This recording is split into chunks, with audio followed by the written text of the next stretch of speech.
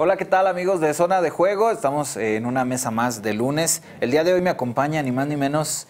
Tengo una visita de lujo, mi amigo, eh, jefe, compañero Javier Bravo, quien el día de hoy va a estar hablando de deportes. Pues oye, tengo que aquí, aquí siempre, aquí a todo el mundo lo tratamos bien y hasta le hacemos así. y hasta le hacemos y así. hacemos así para que se sientan muy, muy consentidos y no porque seas de casa va a ser menos. No, digo, menos pues terminó el fútbol en el Bajío y pues dije, pues, es, es, es, es buen momento para hacer como una especie de corte de caja, ¿no? No, y aparte anduvimos por Celaya, también este fin de semana fuimos a la semifinal. La verdad sí pensamos que, que el Celaya iba a estar ahí en, en la final. Fueron muchos, muchos factores ahí que, que influyeron con, con el Oaxaca, eh, un juego pues medio marrullero, haciendo tiempo, en, en la banda de Muy repente canchero con el cuarto árbitro eh, metiéndose, por ejemplo, iba a haber un saque de banda con un jugador del Celaya y los jugadores que estaban calentando en la banda se metían y brincaban para tapar. O sea, era como si estuvieras viendo un partido de niños, de, de cómo, de cómo empezaron a jugar.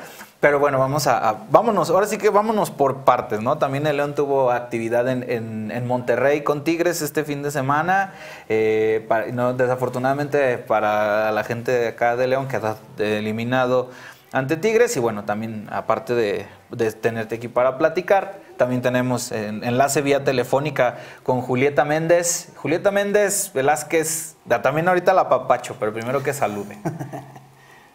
Hola, ¿qué tal, Tavo? Amigos de Zona Franca, Javier Bravo, también un saludo, te mando un abrazo hasta el estudio. Y bueno, sí, como bien dices, se acabó el fútbol aquí en el Bajío, quizá la decepción más grande, porque bueno, León, a pesar de que logró meterse a Liguilla, había hecho un torneo un tanto irregular, iniciando con malos resultados con Javier Torrente, pero en lo que respecta al Celaya, pues bueno, el equipo cajetero, el equipo de los toros, había hecho un torneo, pues bueno, envidiable, ¿no?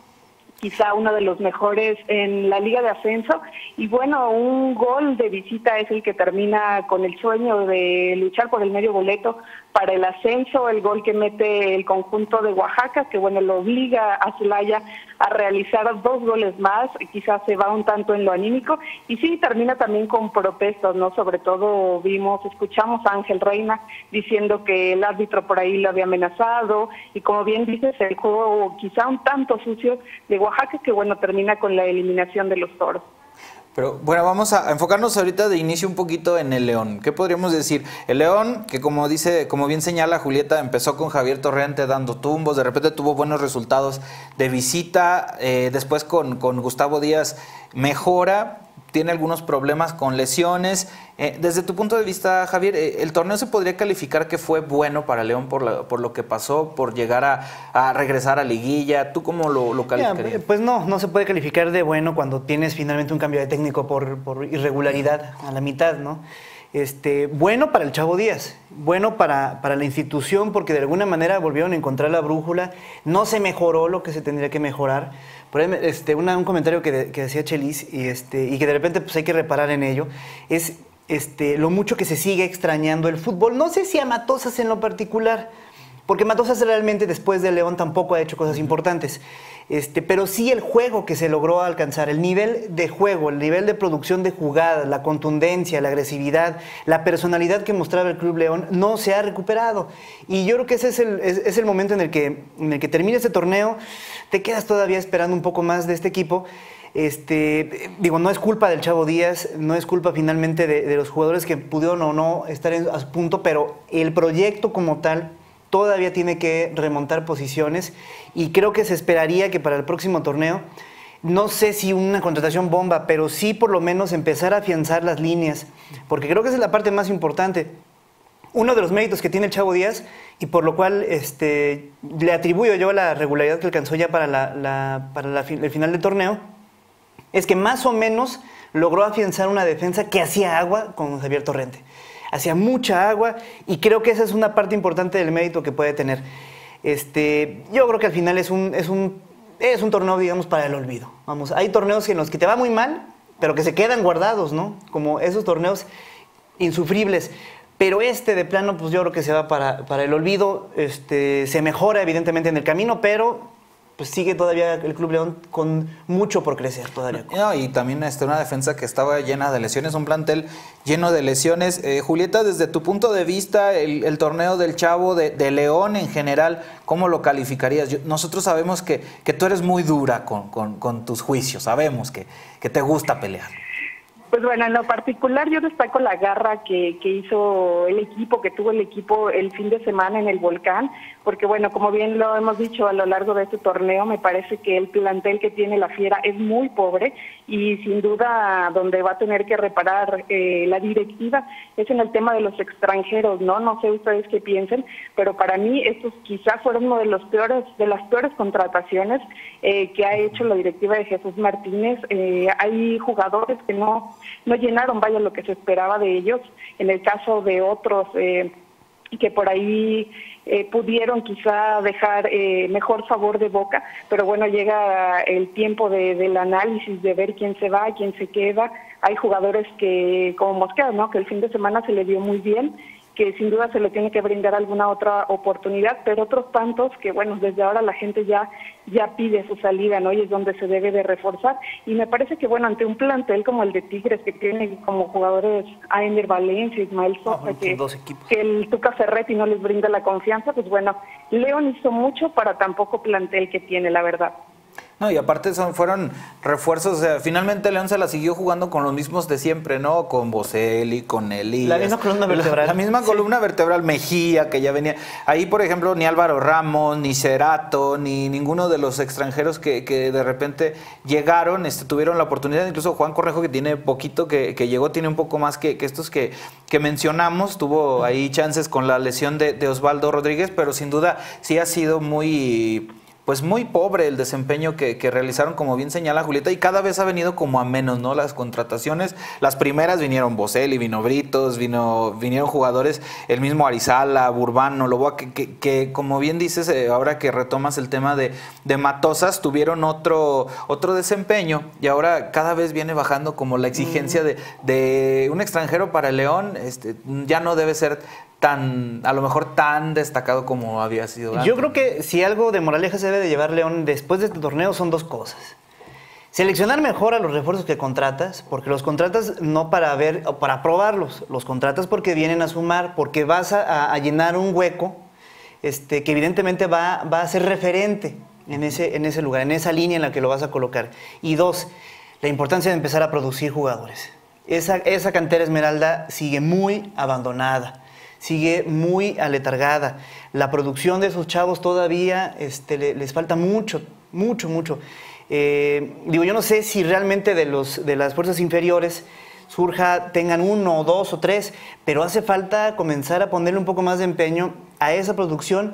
Digo, independientemente de que el gobierno te dé un terreno para la universidad este, del, fútbol en, en Guanajuato, digo, independientemente de eso, como institución grande, sí se espera mucho más este, la apuesta por los jóvenes, uno, dos, los que se puedan. Seguir finalmente la mística que Pachuca ya, ya tiene, ¿no?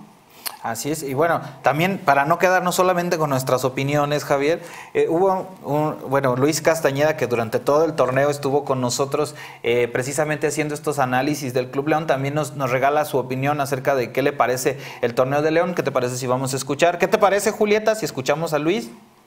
Escuchémoslo. a ver, vamos a escuchar lo que nos dijo. Buenas tardes, Tavo, amigos de la zona de juego. Un gusto poder saludarles en este lunes. Luego de la eliminación del conjunto de León, que este fin de semana finalmente termina su participación en la Apertura 2017 al empatar y con el reglamento en la mano y ser eliminado frente al conjunto de la Universidad allá de Nuevo León. Un torneo de claroscuros para León que arrancó justamente con la participación de Javier Torrente, un técnico cuya relación se desgastó, cuyas frases sin duda alguna pasarán a la historia como lo que no debe hacer cualquier técnico en el fútbol mexicano o en cualquier país, que es meterse con la afición, que es justamente darle patadas al pesebre y que de esta forma los resultados tampoco terminaron por respaldar la actividad del estratega argentino quien deja el timón y llega prácticamente como bombero Gustavo El Chavo Díaz, un técnico cuya experiencia se remitía justamente a la Liga de Ascenso en el fútbol mexicano, un par de buenas temporadas con Celaya que no terminaron por trascender más allá del buen, eh, la buena posición en la tabla general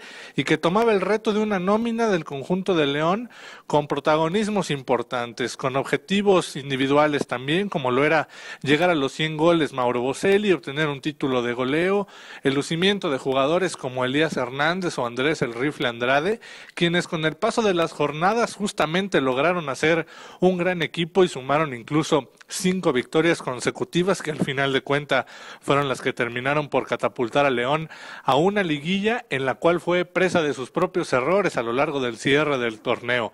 No lograr ganarle a Tijuana, a los Pumas, a las Chivas, equipos que prácticamente estaban eliminados desde la mitad del torneo y que terminaron por complicarle justamente una posición en la tabla general que al final de cuentas los deja fuera entonces de esta liguilla. Si esos puntos se hubieran sumado justamente a lo largo del torneo, seguramente podríamos estar hablando de un escenario distinto para el León, que al final de cuentas termina mostrando justamente en este partido ante Tigres lo que fue a lo largo de toda la temporada.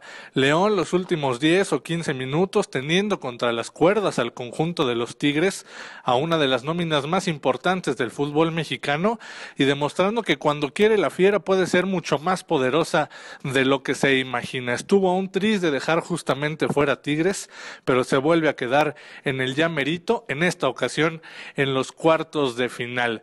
El balance de la temporada es ese, Tavo, amigos de zona franca. Me parece que cuando León se decide y cuando León busca ser protagonista, ser ofensivo, ser contundente, lo puede lograr se lo puede creer y sobre la cancha lo puede demostrar. Tendrán que venir cambios, seguramente le moverá muy poco a la nómina la directiva del conjunto de León, porque a pesar de que tiene nombres de importancia, tampoco es que sea una de las millonarias nóminas dentro de este de, esta liga mexicana.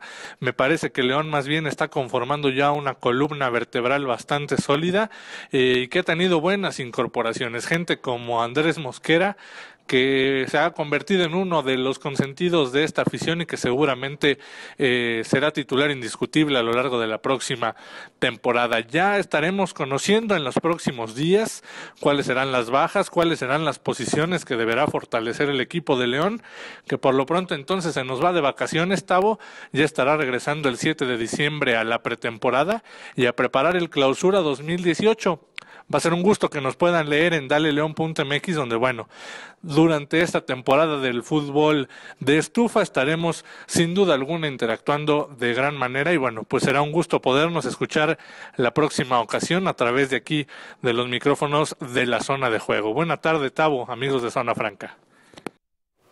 Pues ahí está, Javier, la, buen punto, de, ¿eh? Luis, buen punto. Se nos había olvidado Mosquera, pues que llegó, por cierto, Mosquera, por la lesión de, de Burdiz. O sea, fue ya después, este, también en una, la cuestión ahí con Novaretti, llega, llega Mosquera pero digamos que fue el, refuerzo más, más acertado. Y pues, ¿qué te parece, Javier? Si vamos de lleno antes que de seguir precisamente hablar del tema de Celaya también. Se lo merece. Que el Celaya, que también se merece este, mención especial, llegando ahí a, la semifinal de la Liga, de la Liga de Ascenso, y desafortunadamente ahí se ha quedado eh, en los últimos torneos. Julieta, ¿qué piensas de la eliminación del Celaya? Por ella nos comentabas algo, pero ahorita vamos a profundizar. Así es, bueno, eh, creo que lo que pasa en Celaya es bastante triste, muy lamentable. Como bien dices, aquí lo, lo vivimos quizá algún tiempo con el León. Aquí la gente, la afición lo sufrió mucho. Nosotros como medio de comunicación seguimos varias finales, varias semifinales donde el equipo, bueno, hacía grandes actuaciones, se eh, ubicaba en la zona, en la cima de la, de la clasificación general y bueno, no trascendía más allá de eso. Ahora Ricardo Baliño, pues bueno, tenía un equipo, un plantel que reforzó con jugadores del máximo circuito en el caso de bueno Ángel Reina y Leobardo López que vinieron de Veracruz después de salvar al equipo del descenso. Y bueno tuvo el equipo un muy buen desempeño a lo largo de las jornadas.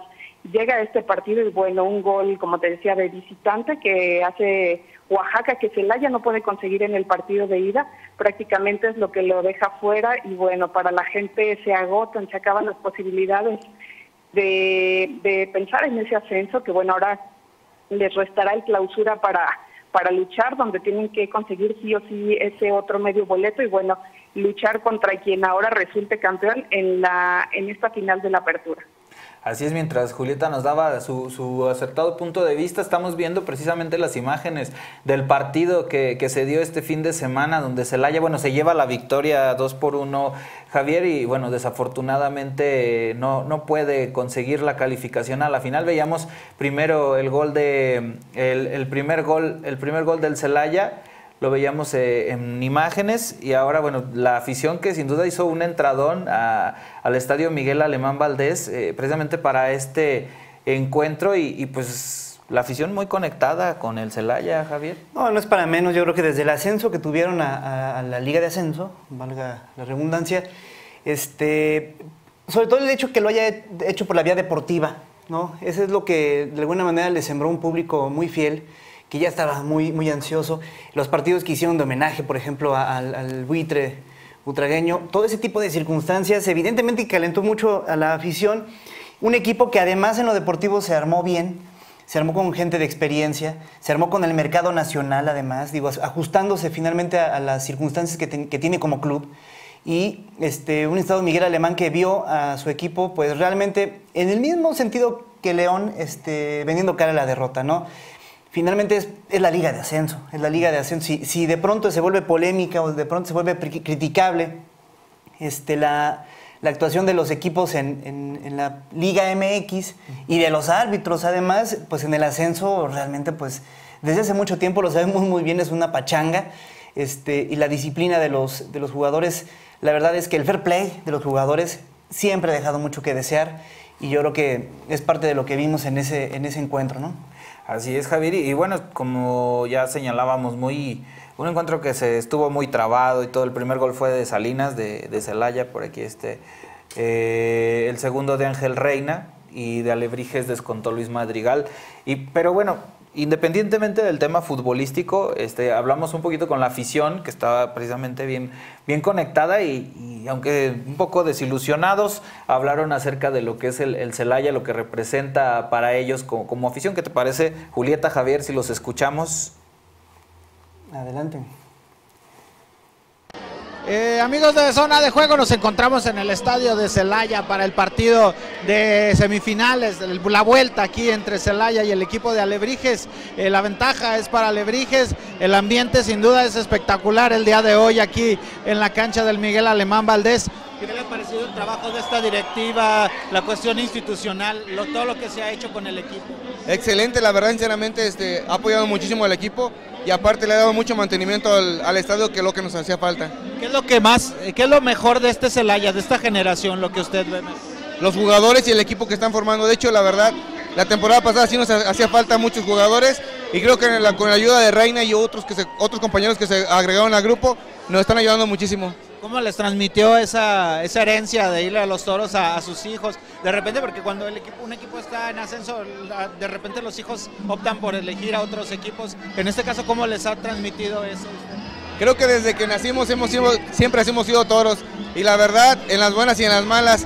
Y te has de acordar que hemos tenido aquí a buenos jugadores, Emilio Butragueño, Michel, Hugo Sánchez, Sánchez, la verdad, sinceramente, una, este, un equipo que la verdad, sinceramente, muchos quisieran. Muchísimas gracias, muy amable. Oye, Nicole, pues platícame, ¿por qué le vas al Celaya? ¿Qué es lo que más te gusta de irle al Celaya? Pues me gusta pues porque soy celayense, ¿no? Y porque pues se lleva en la sangre y me da mucho orgullo, la verdad, irle a mi equipo, porque pues es un sentimiento que no se puede describir y este irle a, Celaya. Independientemente de lo que pase hoy, ya hace falta que el Celaya esté en primera división, ¿no? Ya, ya, ya se lo merece, ya se ha desgarrado el alma. Este, la temporada pasada estuvimos eh, eh, a medio camino, no se pudo, pero, pero ahorita ya se lo merece, la verdad. Este equipo que tú, tú lo ves como para poder ascender, ¿cómo lo ves? La verdad lo veo muy preparado, lo veo con, toda, este, con todas las fuerzas y sí, tiene todo para, para ascender. Es, familiar el asunto, ¿no? Toda tu familia le va al Celaya.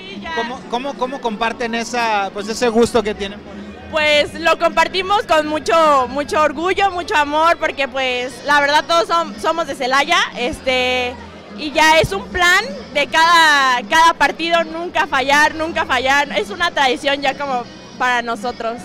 Muchísimas gracias, muy amable. Muy amable. Platícame, eh, ¿cómo sientes tú la pasión por el Celaya, los colores? eh, y pues principalmente, ya hace falta el equipo en primera división otra vez. No, pues sí, este, bueno, yo soy aficionado de corazón. Eh, bueno, estoy aquí todos los sábados siempre. Pero bueno, este, a mí me motiva mucho ver al Celaya. Y bueno, yo de verdad espero que sí pueda ascender, que lo logre, porque tenemos muy buena afición. Y bueno, yo creo que es esencial que el equipo esté en primera. ¿Cómo has visto el plantel que tiene? Jugadores pues son de experiencia. ¿Te gusta este equipo? ¿Tú crees que es del- de, lo mejor que se ha armado en las últimas temporadas? Pues sí, mira, yo creo que es un equipo muy bien armado. eh, se ve que los chavos son amigos entre ellos. Y bueno, yo creo que eso hace que logren un mejor juego. Independientemente de lo que pase el día de hoy, eh, este plantel es, eh, digamos, tiene para pelear en, tanto en este torneo como en el torneo. Bueno, yo creo que es cosa de que mm, el equipo siga junto y que no empiecen a tener enemistades entre ellos, simplemente que siempre sean unidos y que sigan jugando como juegan ahorita. Pues ahí está, Javier. Estuvimos ahí con la gente de Celaya, que estaba muy animosa. Lástima del resultado. Sí, ¿verdad? aprovecharlo. No, digo, finalmente no, que no se termine la participación o no se termine esta temporada sin conocer pues, lo que siente su afición, ¿no? Digo, al final, te digo, es, es un equipo que hizo su propio camino, no se fue por la vía económica, no por la compra de franquicias, hizo el ascenso de manera deportiva y evidentemente hacer la hazaña de ahora subir a la primera división, a la Liga MX, también por la misma vía deportiva, la verdad es que sería muy meritorio. Ojalá se logre así y si no, pues vamos a ver. Luego sucede que los jaguares o algún, equipo- equipo que ande en venta ahí, que pongan a Julieta a buscar eh, equipos ahí en, en la primera división. Oye, Julieta, ¿ahí estás todavía? Sí, aquí escuchándolo. Oye, este, ¿qué te parece si nos esperas? Vamos a hacer un pequeño corte y regresando vamos a platicar de, de la liguilla y para que Julieta nos dé también su opinión de, de los partidos. En América Cruz Azul, que fue horrible. La América Cruz Azul y, y no se vayan, ahorita regresamos. Tampoco te vayas, Julieta. Queremos tu opinión muy importante, ¿verdad? Ahorita regresamos. Vamos.